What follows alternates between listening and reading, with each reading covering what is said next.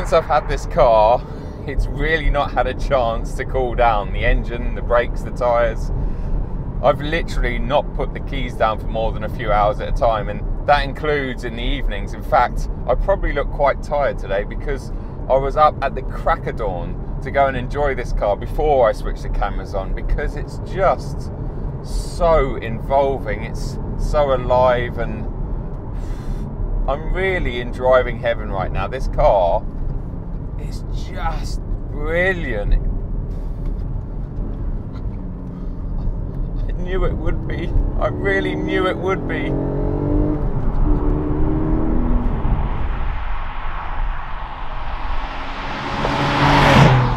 Now, I'm sure you're expecting me to compare this to my manual M2 competition.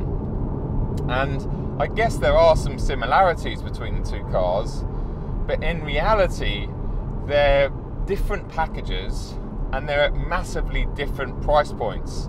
Firstly, the M2 competition is no longer available. I think order books closed for them about three or four months ago, December time. And if we rewind to December, a manual M2 comp would cost you just over 50 grand. Once you factor in the BMW contributions or discounts, you're looking at about 44, 45,000 pounds for a manual M2 competition. This Cayman GTS 4 litre, well, it's 65 odd grand, and you're very unlikely to get any kind of discount out of Porsche.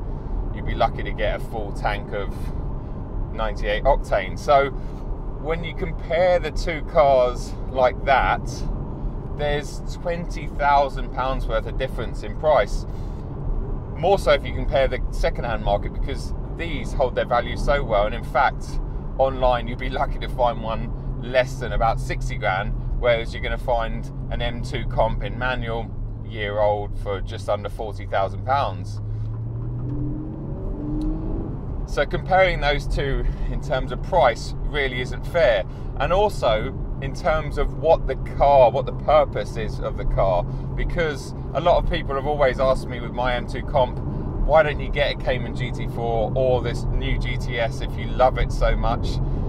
And my answer is always that my M2 competition gives you four seats, like four proper seats. You can get two adults in the back You've also got a really big boot, and if you fold down the rear seat in my M2 Comp, I can throw in two large mountain bikes. You can't do that in this car. It's reasonably practical for a two-seater sports car. For me, and for what I use my car as a daily, this Cayman would just be an addition to something else. It wouldn't do all of the jobs that I want it to do. It does one or two of them better than the M2 Comp but it doesn't fulfill the purposes that I want my daily to have. Let's just enjoy this little bit here. Listen to that.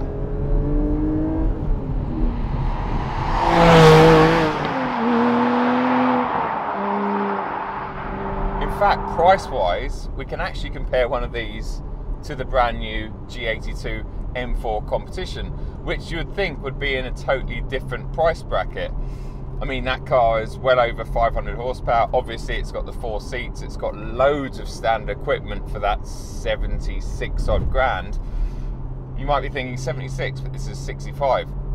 You're going to get close to £10,000 discount again through BMW on that brand new M4. So that brings it down in line with this car. Now, they're totally different propositions, mind. The M4 compared to this is almost more of a GT car, even though I think the M4 is totally capable and very sports car like. When you compare it to this, 400 kilo lighter, much smaller, much more nimble, they're totally different cars. But I just wanted to point out that actually, price for price, this is much closer to the M4 or M3 and hopefully that will stop people complaining about how expensive these new cars are because they're all creeping up in price. You know, once upon a time, uh, Cayman GTS 981 was what about 50 odd grand brand new. Now they're 65 grand base spec. This one's 75. It's got a few toys thrown at it. including this beautiful Python green paintwork that's about 1600 quid. The Bose sound system that I'd probably have for 800 quid. Although, do you really need a Bose sound system with that? probably not. And there's a couple of other things scattered around here, but you could strip most of that out and just buy this car for what it is for the manual gearbox, the beautiful steering, and that four litre. Oh, that four litre.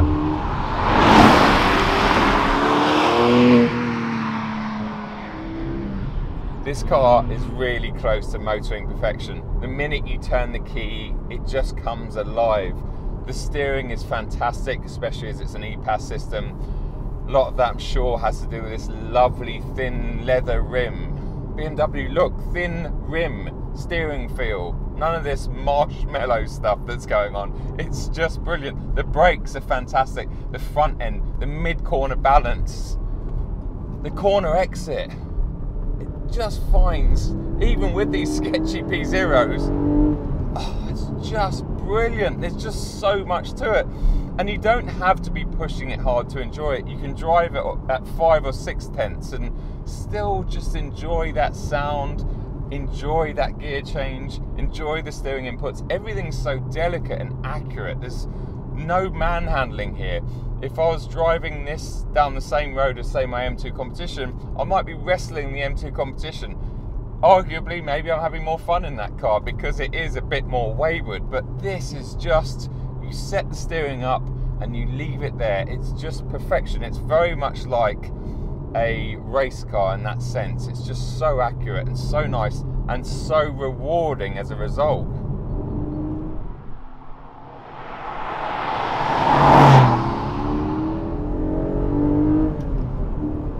this 4 litre what a sound, what an engine. Yes, it's muffled by an OPF riddled exhaust system, but it still sounds very, very good. It has a red line of just under 8,000 RPM, I think it's 7,800, and maximum power is around the 7,000 mark. So everything's up there, and the torque's right up there as well. I think that's about five and a half, six thousand. So you really have to wring it out to get the most out of it. But, and I knew there was going to be a but because I've watched a lot of reviews about this car, this is where the car starts to falter a little bit. And that's why I said near perfect. It's not perfect, unfortunately. It, to me, feels like it has the same ratios and gearbox as the 981 GT4. A brilliant gearbox. I mean, in terms of the way it works, it's action, it's just lovely. Oh, it's so rewarding. It feels so good. I mean, it makes my M2 competition feel like it's made out of rubber. You know, it's just so beautiful, the action. But the ratios, they're so, so long. Second gear, I've been told this, obviously, it wasn't me. Second gear is good for 85 miles an hour. So, on a British road, when you're trying to get the most out of this engine, like I said, it only really rewards you sort of over five or six thousand RPM where the torque and the power is coming in. You can't use those gears at legal speeds. So you can't appreciate this car really fully for what it is. Yes, it would be amazing out on a circuit like Silverstone. I'm actually off there in a couple of days in an Audi R8 and I can't wait for that. This car out there, well, must be averaging over 100 miles an hour on a lap at Silverstone through some of the Maggotts and Becketts complexes with this manual gearbox, you'll be third, fourth, fifth all day long. It would be fantastic. But that's not what this car is built for. This car is built for the road, and unfortunately, these super long gears do mean that you can't extract all of the performance out of this brilliant engine.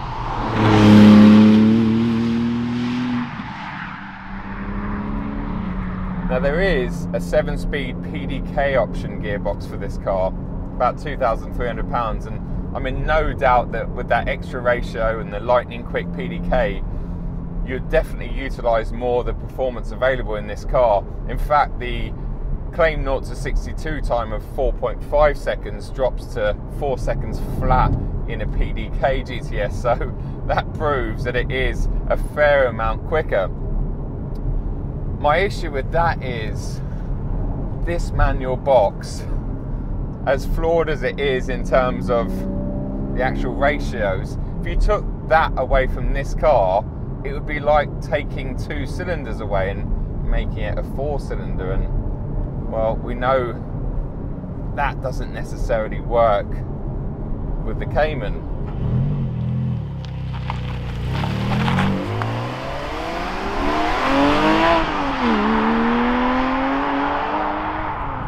Now, although I've just been complaining about the long ratios affecting the straight line performance of this car, I'm not suggesting that it's slow by any means, and there's two reasons for that. It weighs a fraction over 1400 kilos, which by today's standards is very light. In fact, it's 200 kilos lighter than my M2 competition. The other reason is its suspension. When you back the dampers off, it has such a fluid ride. And so that kind of disguises how fast you're going on the road because in my M2, for instance, I'd be shaking about and you'd get real feel for speed. But this thing just glides over everything really well, almost like an Alpina does. It's got an amazing ride quality, and that disguises the speed and also helps, obviously, with the handling. It's just lovely.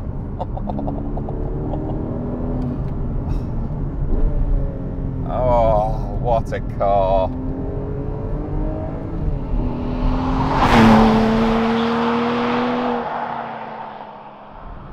Guys, I'm going to end it there. I could leave these cameras rolling all day long, but I'm going to turn them off and enjoy this car off camera because it's just fantastic. Goes back in a couple of days and I'm going to make the most out of it. Yes, I've complained about its gearbox. It's not perfect, this car, but wow, it's close to perfect. And if I did only need the two seats and I did more petrol head tours and more track days, which I am doing at the moment, this car would tick so many of those boxes. So really looking forward to getting my hands on the 718 GT4 very soon, hopefully. And in fact, a 911 because I'm really interested to see where the 911 sits compared to this. I just can't imagine a better driver's car than this. It really is just brilliant. Brilliant, brilliant, brilliant. Guys, thanks a lot for watching. I'm sorry if I've been a little bit overexcited potentially looking a little bit tired as well, but it's all the emotions of having the keys to a GTS 4 litre. it's just, oh, what a brilliant bit of kit. What a brilliant bit of kit. Massive thanks for the support, the love, everything. Give us a thumbs up if you enjoyed this video. And I'll see you at another one very, very soon. Cheers.